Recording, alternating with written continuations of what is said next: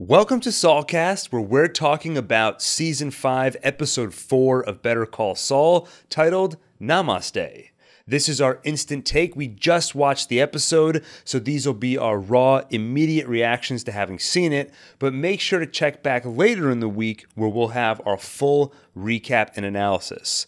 By the way, if you're listening to this as a podcast, check out the link in the show notes where you can watch this as a YouTube video on our channel One Take. And if you're watching this on YouTube, subscribe to the podcast to get that full recap later in the week. Without further ado, let's jump into tonight's episode. I'm Gil. I'm here with my brothers Alun Yo. and Adam. Hello. Let's get into it. So, a few things to talk about in tonight's episode. Let's start with the character we ended on, Mike. He went looking for trouble again, found those same hoodlums, and got himself beat up and stabbed.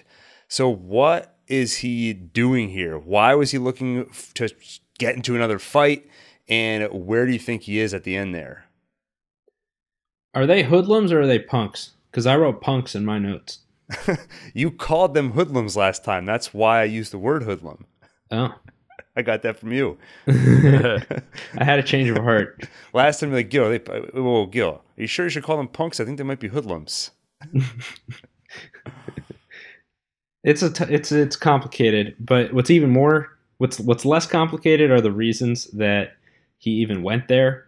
Mhm. I think without without even being trusted to have the responsibility of watching over Kaylee, babysitting her, he's got nothing left. He's depressed.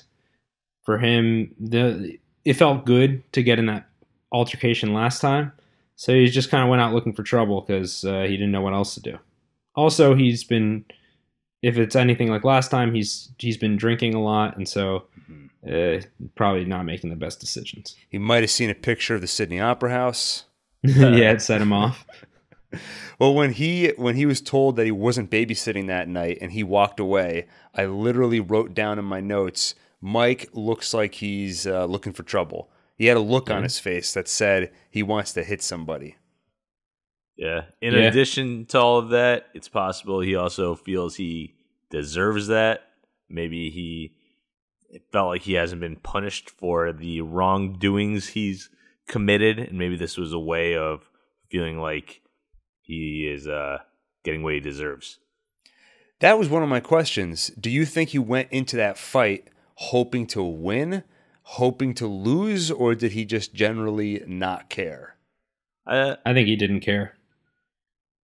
Yeah, I mean, I think uh, honestly, I think he wanted to take out some frustration, but I think he also did kind of want to get beat up a little bit himself. And then afterwards, he wakes up in a hospital of some kind. Not exactly a hospital, I guess, but it, almost like a farm of some sort out in the desert. Do you think, who do you think rescued him? Was he rescued? How did he end up there? I I have one theory, and that's I think given how thorough Gus is, there's a good chance that Mike is under surveillance most of the time. Uh, and Gus also seems to like Mike and see him as a, an asset. So there's a. I, I'm not backing this theory 100%, but there's a chance that one of Gus's people saw this happen uh, and took him somewhere to convalesce. Yeah, my first thought was maybe they stabbed him. One of the hoodlums or punks realized that he was dying and they thought, we don't want to get involved in a murder right now. So let's take this guy back to my place and care for his wounds. Then I realized that doesn't seem very likely. My Nah. next thought is exactly what you said is that Gus is monitoring him, saw that he was being threatened, and not Gus himself, but one of Gus's people stepped in and saved Mike. But that leads to a question of how much is Gus going to put up with? We know he's going to continue to work with Mike, but he already had the Werner screw up, and now he appears to be borderline suicidal, putting himself into this, this compromising, dangerous position. It'll be interesting to see if Gus really is the one who intervened, how we go from this to Gus saying, Yeah, I want to keep working with this unpredictable guy who keeps going out looking for danger. If You know, Gus- this- it, Go ahead. All right, I was gonna say if Gus was involved in this, it could be, uh, you know, Gus still wants to work with him, and maybe he will be offering Mike a purpose. Mike clearly needs something in his life to, to Yes. change at this point. and this is very similar if if the if Gus is involved in this it's very similar to what happened I think in season 4 of Breaking Bad when and Mike was involved in this he basically Jesse was downtrodden and Mike kind of helped Jesse get his spirit back by I think actually may have been the first half of season 5 I can't remember anymore but uh, he had like these two guys uh, like corner them in an alley or or something like that, and Jesse basically uh, helped them escape. And it turned out to be kind of staged, but it was a way of getting Jesse to feel more confident. And Gus was kind of part of that planning. Do you guys remember that? Vaguely, vaguely, but another example I remember, and I think that this is, I think you're spot on that Gus is going to use this to his advantage as a way of not exactly manipulating Mike, but using what he's seeing in Mike's behavior to guide him to what Gus wants. And we saw similar behavior when Gus appealed to Walt and Walt's desire to be a man and support his family. So we've seen in the past Gus finding someone who needs a purpose and giving them a purpose that happens to align with exactly what Gus wants. Yeah. Gu- Gus, uh, under d- despite his abnormal psychology, he understands the psychology of others. That's right. So speaking of abnormal psychology, we saw Jimmy throw some bowling balls. And he, he was uh, he was trying to hit Howard, right?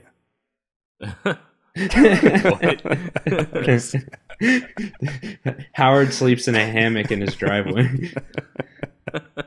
that was before we started recording when I couldn't stop laughing and you asked me why. I had just thought of that line. That's why I was That's laughing. why. And also, I'm going to keep calling him Jimmy because he did say that he lets his friends call him Jimmy. Saul's just his professional name. Yeah, but So- then he said, "You can call me that too." yeah. that So little could joke. be in addition to friends. Oh, I didn't catch that. I thought he was Yeah, I, I thought that first. was an intentional kind of. I, I thought he was just. It was an intentional kind of Yeah, poke at him. it could go Got either way. He could be including him, maybe. I don't know. I mean, well, considering the next time we see him, he's throwing bowling balls at his car. I think Adam's Yeah. right on this one. Just a prank amongst friends. Well, so in all seriousness, what is he doing here? To, to me, this felt like old Jimmy, just super childish and just lashing out. Uh, Adam, what do you think's going through Jimmy's head in that scene? Yeah, uh, they made a point of showing us his whole process of sh- he was an- shopping at an antique store for a heavy object. He was practicing kind of tossing them to see. Uh, this looked so premeditated, and also he was planning to do it before they even had the lunch. So this wasn't well, even a to be reaction. fair, actually, to be clear, I don't know that we know that. I mean, Breaking Bad has Oh, at times yeah, we don't know shown the us. ti- Yeah, we don't know the timing. I suspect that this scene, the what my interpretation is that this scene took place later on, and they were just showing us a glimpse of what's ahead. Could be Hmm. wrong though. Yeah, it's possible. Uh, well, whether it was a reaction to that or it was uh, even more premeditated, in either case, it was still premeditated. It wasn't just an impulsive thing.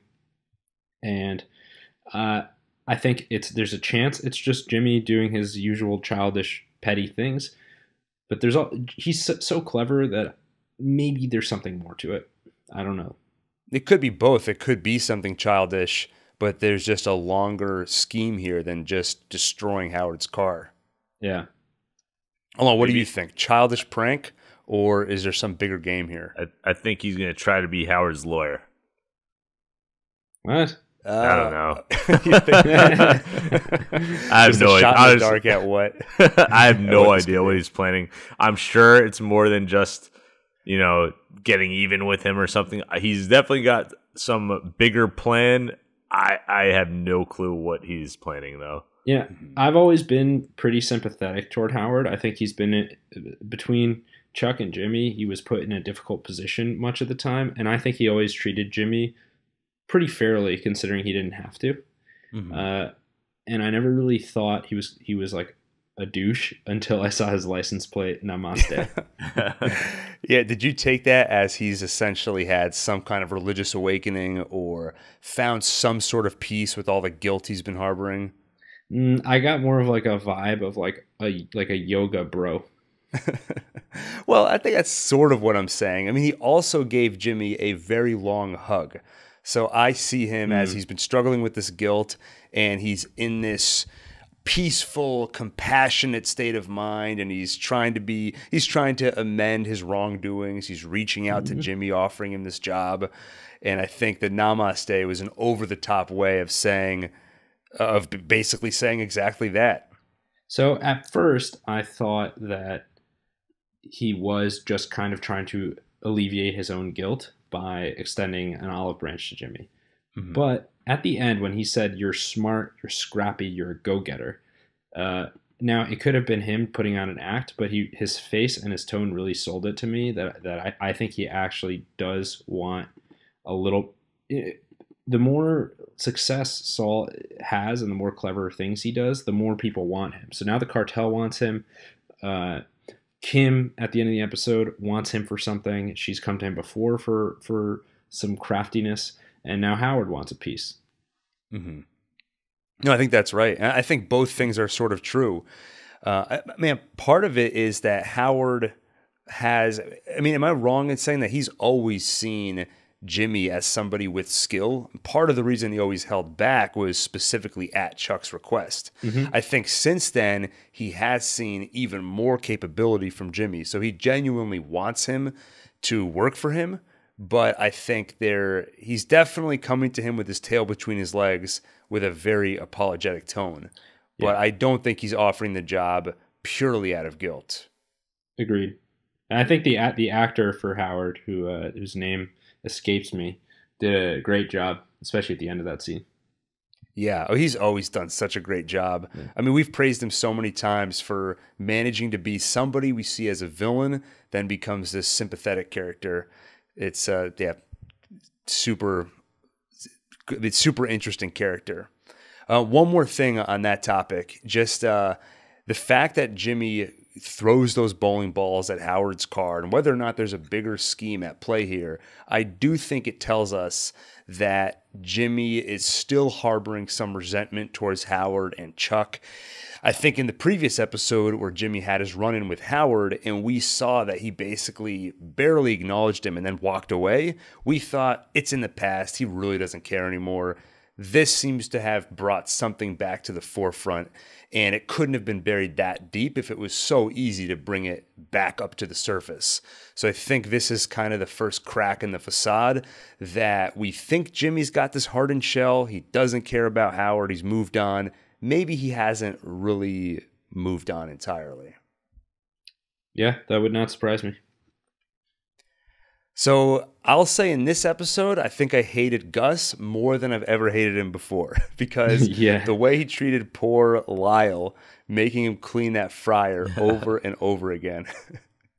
I, I, was waiting yeah. to see him stick that kid's like head in the fryer. I, I, think um, Gus, like we've talked about him being crazy before and having like psychological issues. But like th- this is the one of the, uh, aside from everything else we've seen already, this is like he's he's got like a like a obsession obsessive disorder of some kind. Yeah, I think so, and I think there's something that triggers it. And at first, I thought he was nervous. He's nervously yeah. waiting for the phone to ring. But do you yeah, think that's was what it, I thought? Yeah, I, I wasn't. See, that's also what I thought, and I was debating: is it nervousness or is it anger where he's very confident his plan will work, but he's angry that he's been forced into this position? But I, I do think it's nervousness. I mean, it's the classic you're waiting for a phone call. And just pro tip, by the way, and I think Alun, you'll agree with me on this. This is the equivalent of when a guy or a gal texts somebody and they're waiting for the reply back. You can't just sit there and stare at the phone. You've got to busy yourself. Like Gus had the right idea. He should go and clean something or do something, but he shouldn't have Lyle do it. He should do it. You'd walk away and get your mind off it. Poor Lyle. Exactly. you know, honestly, poor Lyle. And uh, so I will say, we last episode, Gus was kind of backed into a wall. And our question was, how's he going to get out of this? We know the DEA is going to check out these dead drops, and Gus's people are going to be there. So, how does he not uh, alert them that he knows the word got out so that Nacho gets in trouble? So, it turns out he let a few arrests happen, he let close to a million dollars get seized. My one question is that that guy at the end or the, the third guy that Hank and Steve Gomez had to chase, it seemed to me that he was seen on purpose and he wanted that chase to happen. It's Yeah. unclear to me why that had to happen, considering they did get a few arrests already and they were able to seize all that money. Uh, And- yeah, it's a good question. I'm not sure why. Given so, at first, I didn't. You know, we didn't know there were any other arrests, and so I thought this was a way to make it look like a close call. That it wasn't a staged drop. Right. Uh, Yeah, that's what I thought Given too. that, given yeah. that there were other arrests, I, it makes me less certain. Yeah, we'll have to see on the rewatch if uh, if, if there's anything we missed in this first viewing. But yeah, when I first saw it happen, I was like, "Oh, that was his plan was just to do the drop, but then have the guy run away." And then immediately afterwards, you realize that happened. Yes, but there were actual arrests. They did seize some money. And by the way, how awesome was it? Where Hank is obviously disappointed, but he's able to turn it on for his team and give that speech. We're all going to O'Brien's Yeah, made me really want to work for Hank. he's a good leader. He is. And the more we see him here, the more it's so depressing knowing where he ends up. And yeah, yeah, it just it it sucks. yeah, it does. And Kim goes to the courtroom, sees Jimmy's antics. And as always, whenever Kim sees Jimmy do some of his scummy lawyer stuff, I always wonder what her reaction is going to be. Th- it's either going to be her admonishing him or her loving it and wanting to get involved. I think the writers know that we're going to be wondering that because immediately after Jimmy does his switcheroo, we see Kim for a second, but then there's a good 30 seconds where the camera is behind her head. And I keep wanting it to pan around. I want to see the expression on her face, see what's going through her head.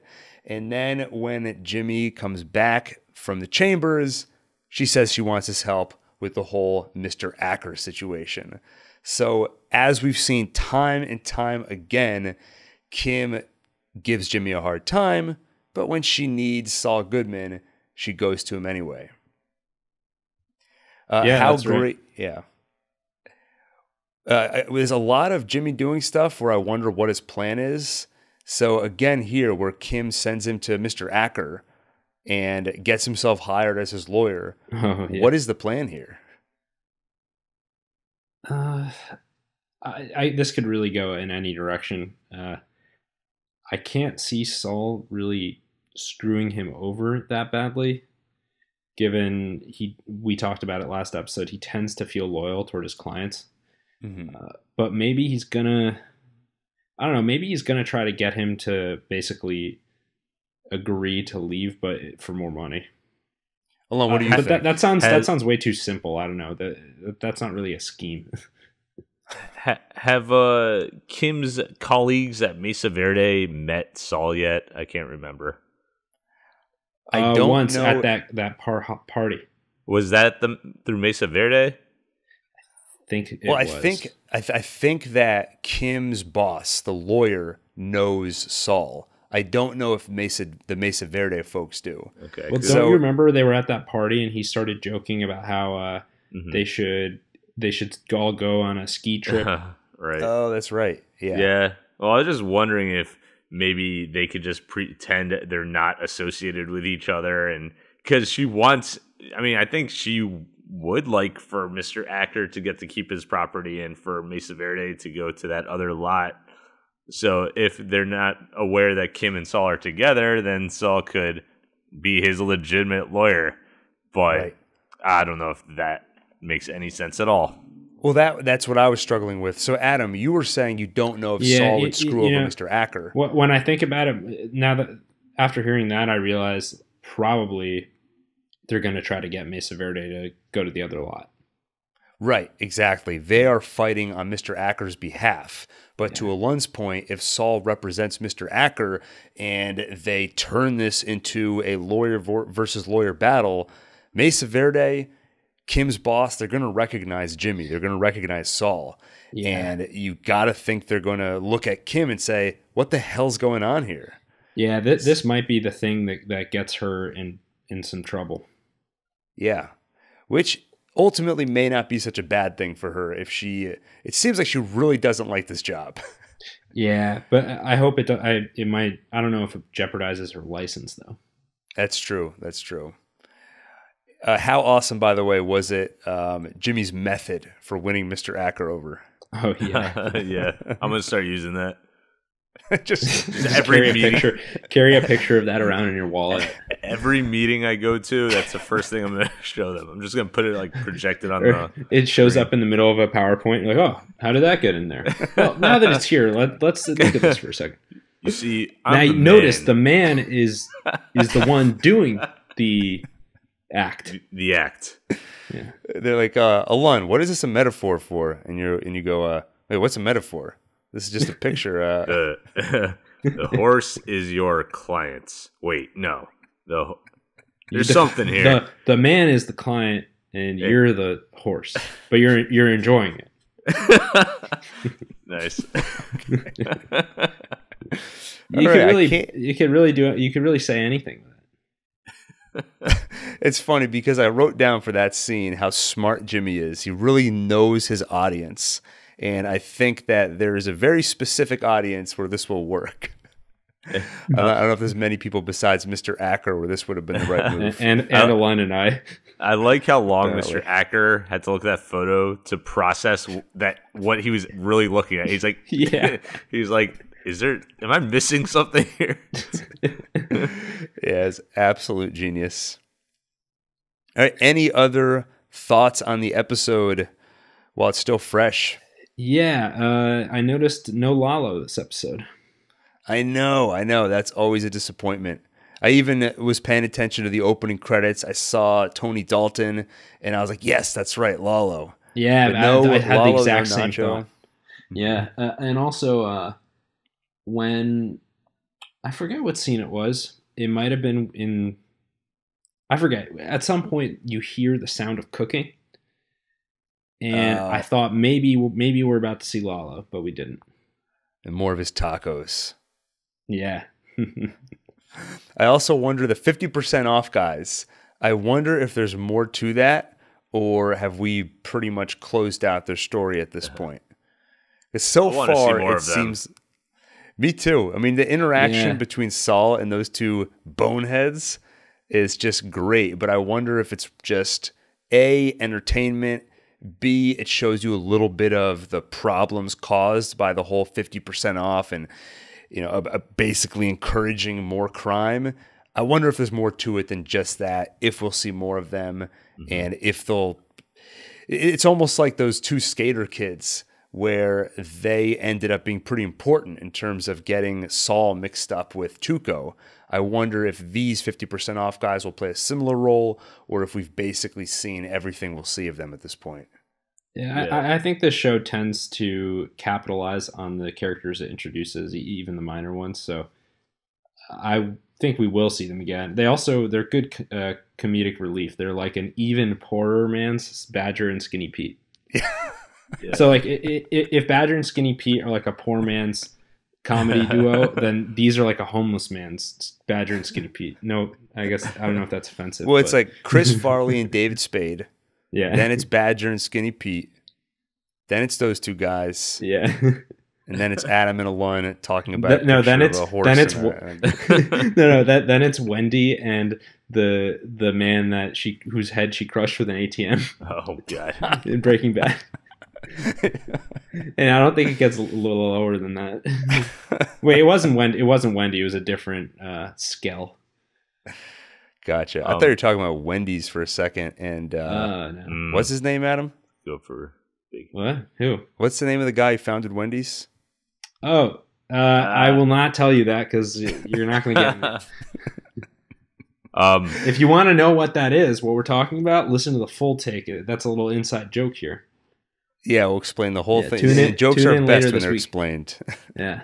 You know, I just remembered something about that I wanted to mention with the the guys that beat up Mike. Mm-hmm. Speaking, you know, speaking of hoodlums, like these fifty percent off guys, those are also hoodlums. So good transition right there. Um, Yeah, it's even better when you explain it. thanks, man. Yeah. So remember last time I was saying how they're they were pretty bad friends. They let Mike just break their friend's arm, and they just stood there and watched, and then let him get away. So I'm glad they were able to get their revenge.